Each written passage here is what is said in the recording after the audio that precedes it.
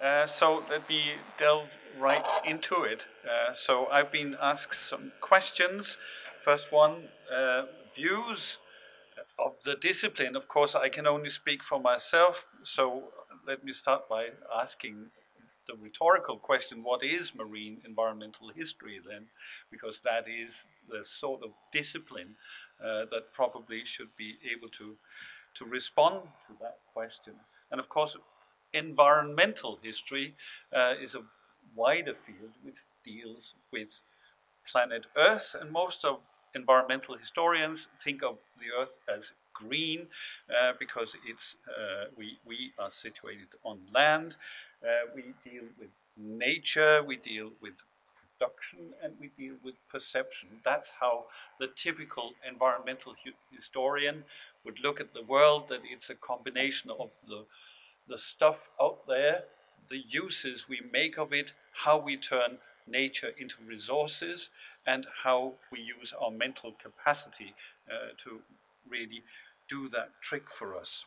Uh, that process is called environing, which is an artificial word, of course. There is no such thing as environing, but it's a very useful concept for really thinking about how we appropriate uh, the globe However, we deal with the ocean, uh, so we need to have a blue dot really uh, all around us. Uh, and what do we do with that? Well, the problem with the ocean is, of course, that we really hardly see what's in it. We don't see what's under it. Uh, we do see what's around the sea, and we see at least some of what is going on on the sea. Uh, but it's really four dimensional, uh, and that's very hard for the human mind to get to grips with. We also need to look at what's happening in a material uh, context, in a cultural, intellectual context, and in a political context. And by now, it's become so complex uh, that it's really hard to manage all of that. But that's what marine environmental history is all about. And we enter, of course, that one absolute crucial factor called time to the whole thing, which makes it even more complicated because, of course, what are the archives of the ocean? It's fluid, isn't it? Uh, is there anything? And probably uh, for a very long time, most historians were quite content to say we can't say anything about this because the archives are just not there. Of course, anyone working at the Deutsches Schifffahrtsmuseum would say that's rubbish, and it is. So let's start from the obvious uh, point, nam namely that the oceans are very important. Two thirds, well, the statistics can be debated, but by and large, two thirds of global GDP is generated in regions within 100 kilometers of the coast. So clearly, we need to pay attention. There is something going on there uh, in the interface between land and sea, and certainly we are very attracted uh, to the coast, uh, as most of us live within 60 kilometers of the coastline. Now, that's general, but as humans, of course, there's no end to diversity. And just one indication of that uh, is the uses we make of the fish in the ocean. Some of us love to eat fish. You all in this audience, I've seen the, uh, the requests for dinner tonight. You seem to love fish, uh, which of course is good for your health uh, and very bad for the ocean health. I'm one of the fish eaters, so I should declare my interest as well. But clearly, if we had been in Argentina, perhaps, we would have been more uh, for the first choice on the menu today. So, anyway, as humans, we have very different perceptions on, of what's going on in the ocean. Uh, here is Salvador Dali's uh, work uh, of the tuna fisherman, uh, which is a very, very bloody encounter with marine life. Uh, a totally different uh, view of marine life would be this Japanese cartoon uh, which presents the image that we humans are really suffering from the superabundance of whales are, which are eating all our fish. So if we killed off the whales, there would be more fish for us to have. So that's a very different point of view than anything that would be acceptable in a Western context, uh, but obviously uh, very important to take to heart. And of course, you can go to a Chinese beach, uh, which will be littered with people who appreciate the aesthetics uh, of the seascape. So, all sorts of views of the sea. The oceans are attractive and they are super crowded.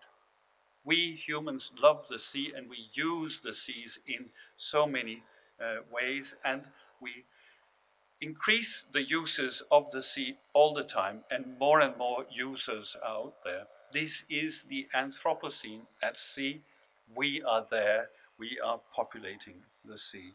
It's a crowded space, not just because we are on the sea, we are also around the sea, of course, and we are getting too close for comfort, for our own comfort. Obviously, uh, with that extreme case, uh, the projections will be pretty obvious that in just a few decades, this Dutch seascape will really need to change. There needs to be some dramatic changes within most of our lifetimes. Most of us uh, here within our lifetimes. Drastic political uh, decisions will have to be made in, in that area. And in many other areas. For instance, Shanghai uh, is now calling on Dutch engineers to say, what are we going to do with this enormously populated countryside, which we now know in a few decades will be inundated. Of course, we are inundating the ocean as well. We are populating not just the surface, but also the sea bottom. Uh, enormous, extensive, complicated networks are extended deep into the ocean as we extract oil and gas and other uh, minerals from the seabed. And we are very noisy as well. Human noise, human generated uh, noise from all our engines have really uh, peaked in the last 50 years and quite clearly are changing, for example, the migratory uh, patterns uh, of some of the large animals which depend on sound for their own communication. So the Anthropocene is clearly out there. When was it in the ocean? When was the ocean Anthropocene? Well, some might claim that it was only seven years ago because in 2009 was really the first time that we ate more fish that had been cultured, uh, so aquacultured fish. We ate more fish aquacultured than we ate fish that had been caught as wild life. So that's a very recent and very, very dramatic change in human behavior, one which we don't really understand, uh, partly because it's not been that much researched. There's very few histories of aquaculture out there, uh, and it's happened so rapidly in the last 50 years uh, that we simply forgot to uh, keep track. Others might claim, well, it happened long ago, actually. Certainly, way back in the 19th century, because if we look at the total extractions of a big commercial species like herring, uh, we reach the total allowable catch, uh, which is about 300,000 tons for the North Sea already by 1875, using sailboats, not uh, steam uh, propelled vessels. So, quite pre industrial uh, fishing technology. So, that debate needs to be had for the oceans. Uh, certainly, we are all impacted by the uh, horrible projections for the uh, corals of the sea that within the next few decades the bleaching uh, will be a mass phenomenon or perhaps even already has occurred. So all of this is just a sample of stuff that marine environmental historians are certainly researching. So is there potential for interdisciplinarity? Of course there is, lots and lots, because at the one end, marine scientists are studying an ecosystem, at the other, we human sociologists, historians, etc., archaeologists, try and understand what's driving it from the human end. And we have a common object, the ocean. So that's brought us together in the Oceans Past initiative, uh, which has now had uh, five international conferences, the next one scheduled for Portugal in May of next year. And I certainly invite all the museum curators of the Deutsches Schifffahrtsmuseum uh, to attend because you will be treated to a fantastic suite of global uh, perspectives on, on the ocean and how humans have changed the oceans. Uh, so mid-May next year. It's shifting the baselines uh, it's shifting uh, baselines for ecologists uh, who have really done a historical turn, and it's shifting how we perceive of history. It's a sea change of history. But we are dealing with stuff which is largely still unknown. We are dealing with the last frontier on planet Earth, so lots and lots of new uh, things can constantly, constantly uh, be identified. We know now, thanks to historical uh, studies, that these changes are dramatic. And we are pushing back into the past uh, human impact. Here's just one example by my colleague uh, Bo Poulsen, who just did the simple calculation of the famous Dutch herring fishery in 1640. It took about 11 or 12,000 men to extract an annual total landing of 50,000 tons of herring, which was phenomenal at the time. And today it takes only eight men, even working on a quota system, uh, to take out 50,000 tons uh, from just using one boat. So clearly the technological innovation, the rapidity and the enormity of the human impact needs to be fully taken on board when we deal with the oceans.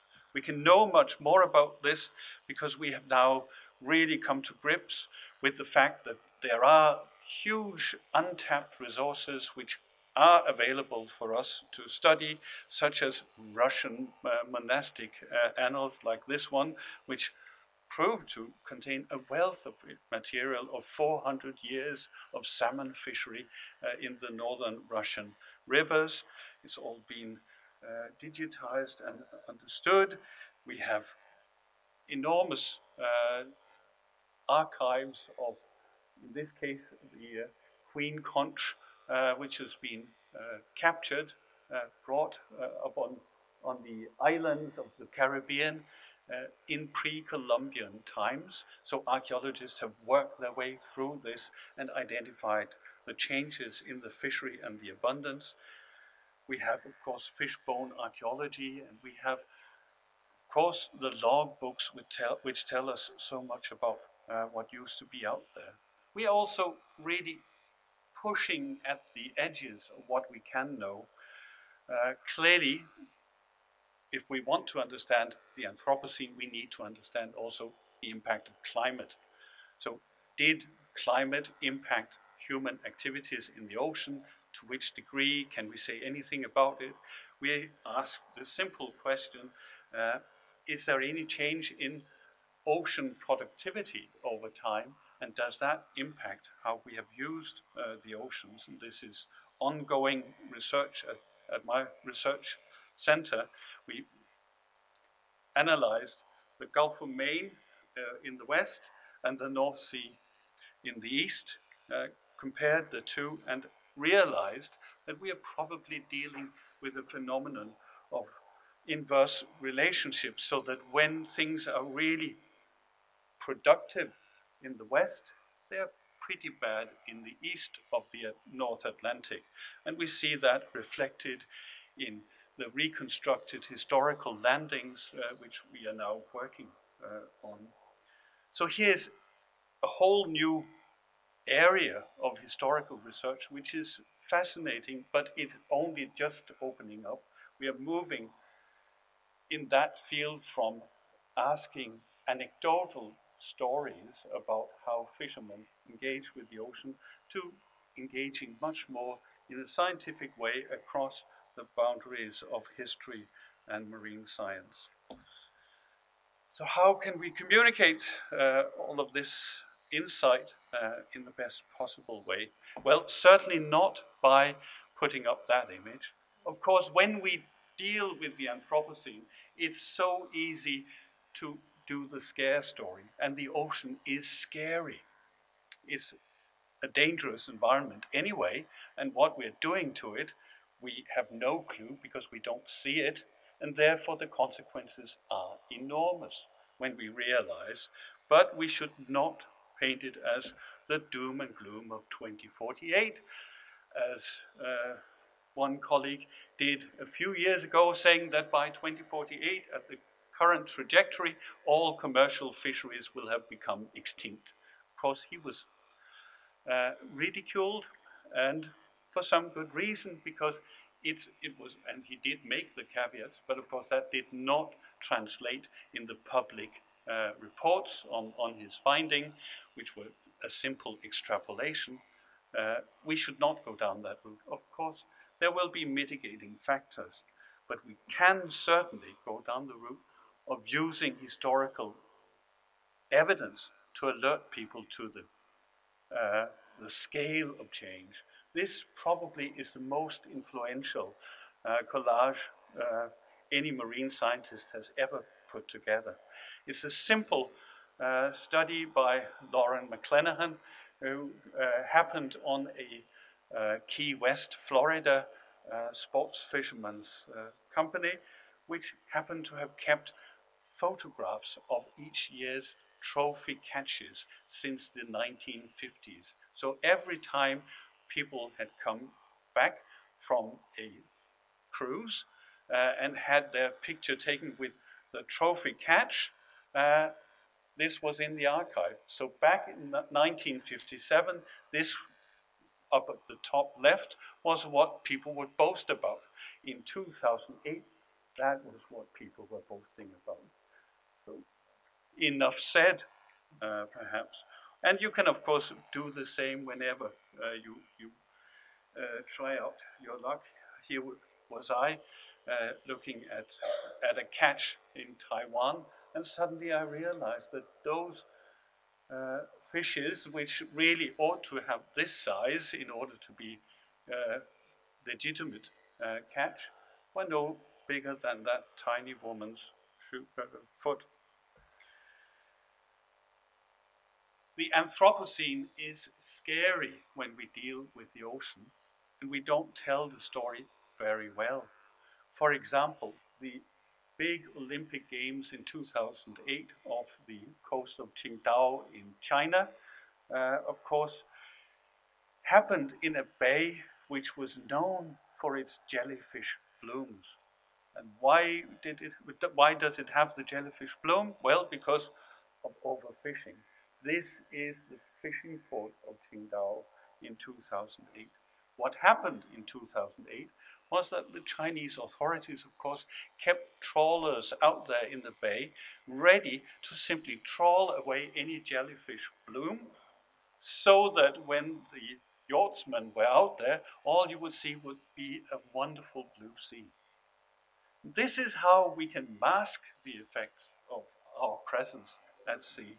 But at the end of the day, we need to communicate that when we eat, we participate in a global food system which has enormous impacts on not just our health, but also on how we get the stuff on our plate. Sometimes these connections are not very obvious to us, uh, but when we learn about them, we may realize that we are eating down the food system. We are changing the ocean. But that insight may as well not just be a sorry story of degradation, it could be a very powerful story of what could be regained because the ocean is a big place. So, contrary to the land, where we can kill off the last tiger, we can kill off the last elephant, in the ocean, it's well nigh impossible. There will be hiding places. So, if we stand back, there will actually be potential for recovery. So marine protected areas certainly are one way forward if we get public acceptance that perhaps we need to say, save as much as 50% of the world ocean from ourselves. So my take-home message, I suppose, is simply that history may, of course, improve our understanding of the past, but it may also pay, play a role in providing baselines for management targets. It can impact how we perceive the changes in the ecology and indeed of our coastal environments. And we may help empower people in their, in their choices as consumers and citizens. It's a blue planet. Thank you.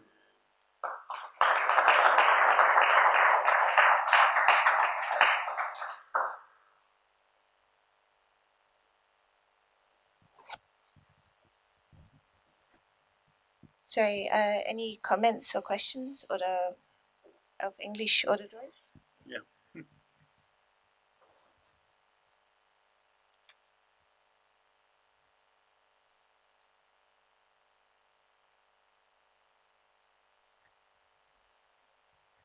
Thank you very much for the very interesting um, presentation and talk.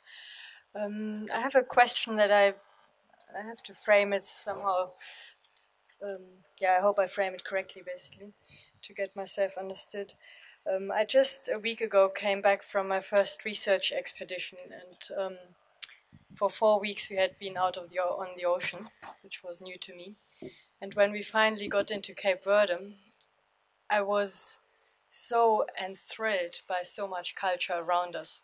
Like every flower garden, front garden was an expression of culture suddenly. So what I was then, or since then, sort of am thinking about is this aspect of, I mean, in the ocean, the only culture I saw, apart of on the ship itself, but um, were basically negative signs of human interference, yeah, plastic, etc. But there is no, I mean, on land, this ability to see beauty, and also, I mean, there are discussions within cultural studies on the ability to feel human love or that human ability to feel love as, as a regulatory basically to our actions. Now, in the ocean, you already stressed the aspect that a lot of the actions or the consequences of our actions we can't actually see, or it's very difficult to see them with our own eyes. No? Um, yeah, I'm, I'm wondering what, what your perspective is on this aspect of basically nurturing an understanding of the ocean by also nurturing the human ability to, to see a beauty in it and, and basically love as a regulatory. Yeah. Mm. It's difficult. Uh, obviously, we, uh, we, we are dealing with stuff that at the end of the day is the ultimate sort of no go area. Very few people will ever be able to, uh, to really uh, enjoy uh, underwater beauty. They will see it on videos. Uh, they will be told about this. They may go to aquaria and, and wonder at this at some creatures, but uh, at the end of the day, it is an alien environment and a hostile environment. Uh, there's no getting around that. That we as humans die, of course, when we are exposed to the ocean uh, for a long period of time. Uh, it's not that we could turn into aquatic uh, animals. So it really raises the, the, the, the, big challenge of how to communicate uh, a sense that you should just allow stuff and life uh, to go on without you ever being able to touch it uh, or enjoy it, really. Just standing back and relishing the fact that you know it's out there. I think the, the coral reef story uh, is very powerful uh, because people do see the beauty and they do understand that this is something which would be a terrible, tragic loss, uh, not just to the planet and to the ecosystems, but to us uh, if they disappear. And one of the, uh, the, uh, the things that may alert us even more is the sense that this is quite acute. This seems to be happening as we speak. Uh, a few years ago, it was a projection, uh, and this summer, of course, we have had uh, a lot of scare stories that it seems to be happening on a global scale. So, yes, we can be alerted to some. Can we be alerted to a species like the orange roughy, uh, which lives at 200 plus uh, meters depth, uh, which has a lifespan of 150 years, uh, matures at the age of 40, and unfortunately uh, are very, very tasty, and therefore have been marketed throughout the Western world at enormous uh, high prices uh, and been really coveted uh, by the best chefs around the globe uh, because it just makes a delicious meal. nobody is alerted to anything. They just say, well, it's, it's just another fish, isn't it? So we need, of course, to develop some sense of uh, alertness. Could we have menus with uh, clear warning signs? Uh, would that be a, a, way forward? Would it be possible to to impose that, or should we leave it to uh, to restaurant owners to to just be able to market themselves that they are very conscious uh, of, of, uh, of, what they do and what they put on people's plates. Uh, I think museums certainly have a big role to play here uh, and in trying out what works, what doesn't work in terms of alerting people. What do people respond to and what will they say, well, at the end of the day, it's just another stupid species and I couldn't care less. Yeah.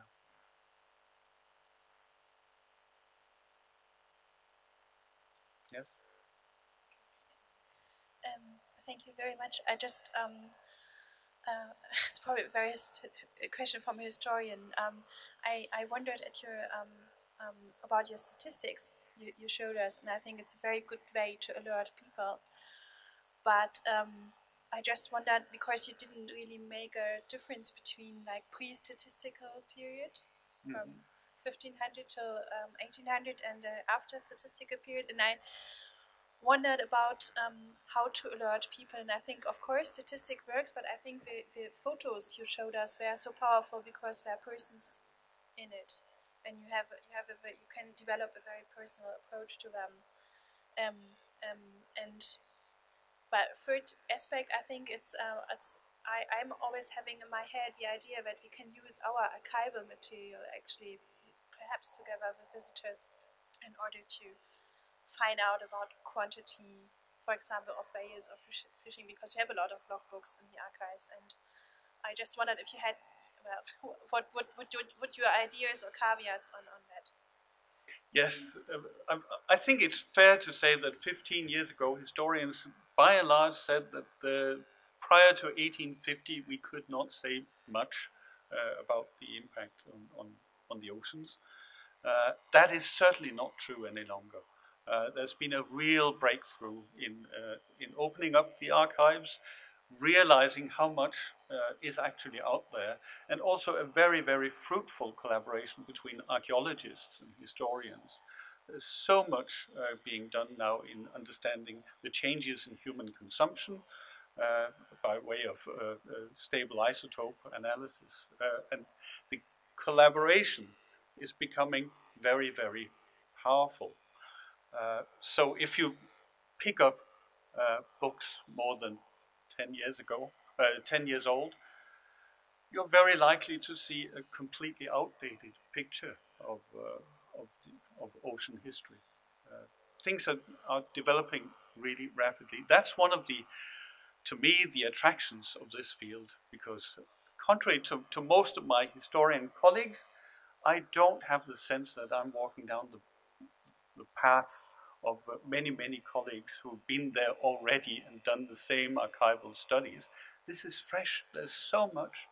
Uh, and we now know how to deal with it, and we know where to look and, and the potential of, of the information. Part of uh, this is uh, also about a retraining of historians to be alert to ecosystems, to understand what is uh, an ecological indicator, what might this be telling us. Uh, and of course, it's also about becoming more rigorous in, certainly in quantitative terms, uh, of just measuring like with like, which in the past we haven't really done very well. Uh, and it's also about uh, understanding the, the fruitfulness of dealing with the iconographic material and the cartographic material. There's so much. So I think it's, it's, it's a very fresh, but it's also a rapidly evolving field. So that's another challenge to a museum that you will be uh, dealing with stuff contrary to shipping, which is sort of a very well established field this is a rapidly uh, developing field. Uh, so much is, is happening. I think it's exciting, and I think uh, the public will be excited to just realize that you can get so much out of a, a pile of rubbish on the beach.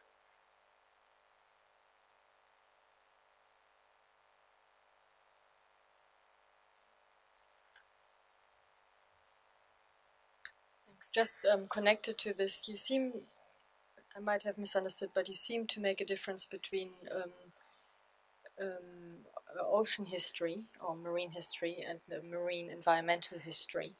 And um, I'm just thinking of works like from John Gillis, um, etc. They, I, I, if I understand it correctly, I'm a sociologist or no historian.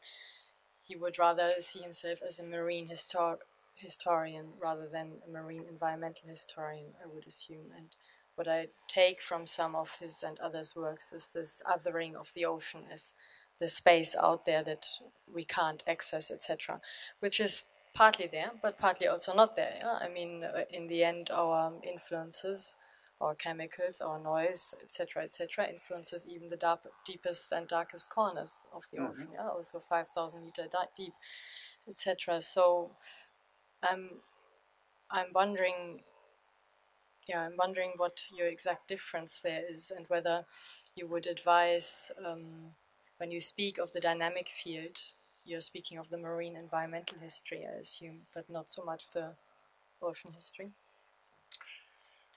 Well, it's a broad church. I, th I think if people do interesting work, welcome. so, yeah, I don't want to have sharp uh, uh, divides here, uh, and, and, and it's not necessary. Uh, and I think actually in the Oceans Past initiative, we even have sociologists in, in our midst.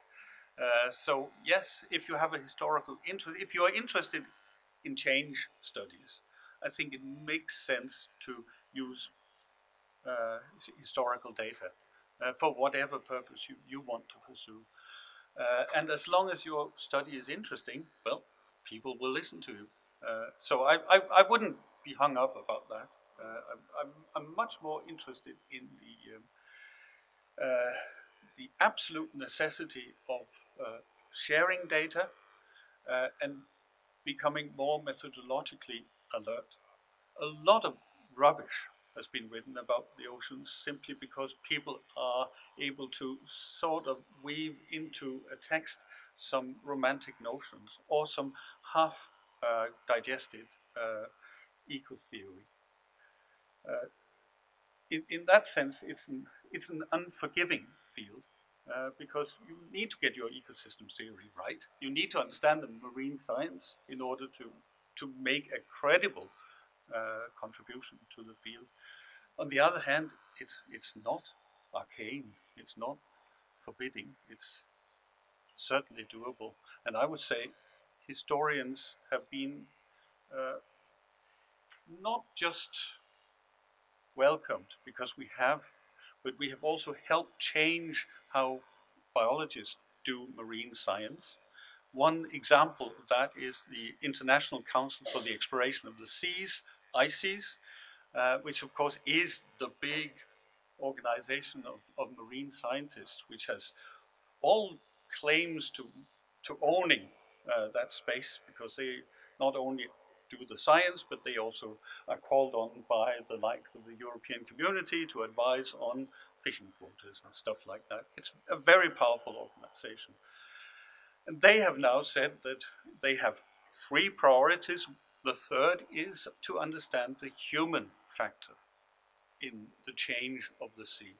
That's really, that's a real breakthrough.